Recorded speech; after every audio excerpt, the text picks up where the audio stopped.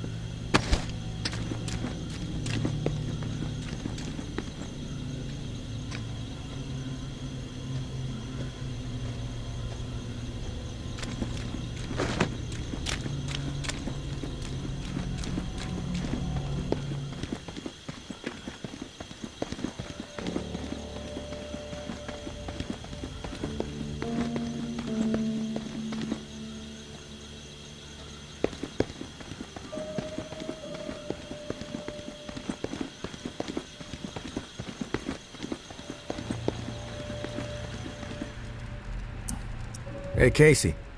Feel like bullshitting for a minute? Yeah, sure. I ain't going nowhere. Uh, I can put this book down. Lord knows I've read it enough times already. What book is it? the only book down here besides instruction manuals is this hardcore physics book called Hollow Reel. Uh, no clue who left it. I must have read it cover to cover a dozen times already, and it still blows my mind. I mean, the whole book is about this theory that the entire universe, like reality itself, is nothing more than a hologram being projected on the surface of a black hole. It sounds fucking nuts, but the math supports it, I guess. Uh, I'm trying to wrap my head around it all, but science is not really my strong suit. Uh, what about you? You a reader?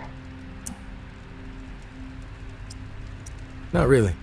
Music is my thing. Oh, cool. Me too. I play guitar a little. Oh, God. I haven't heard a song beyond the stuff JB plays between his sermons since I've been stuck down here. Hey, what kind of music do you like? Nothing will ever beat Delta Blues.